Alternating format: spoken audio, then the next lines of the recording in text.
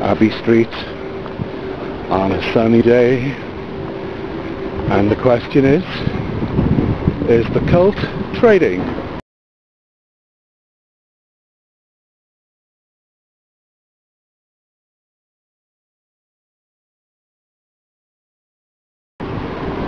Oh yes, there's Roy going in.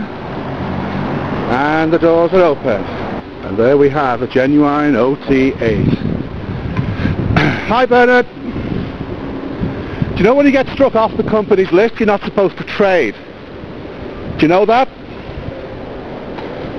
when you get struck off the company's list for failing to produce your annual account you're not supposed to trade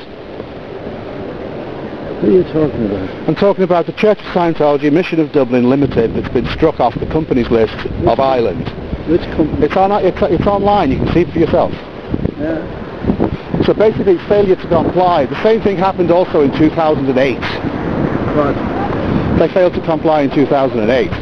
That's not very efficient or competent, is it? You failed to comply. Failed to comply, yeah, and they've done it again. As of the 6th of June, that should not be operating as a business. That's, I don't know how that is. No. I bet Jan Eastgate doesn't know how she got arrested either, you know. Did you hear about that, no? No. Perverting the course of justice, she coached an 11-year-old girl to lie to the police. She was being sexually abused by her stepfather. Three years later, she won a humanitarian award. Ironic, huh?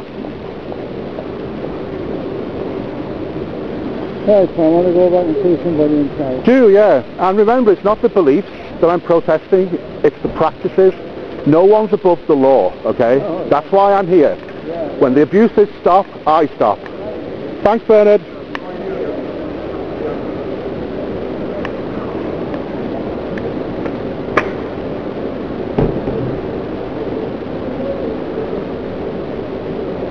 Hastily assembled SciFAG conference takes place on the doorstep.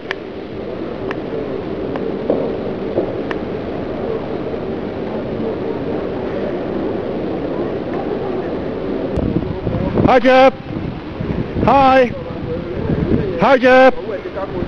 Would you like to make a comment about being struck off the company's register?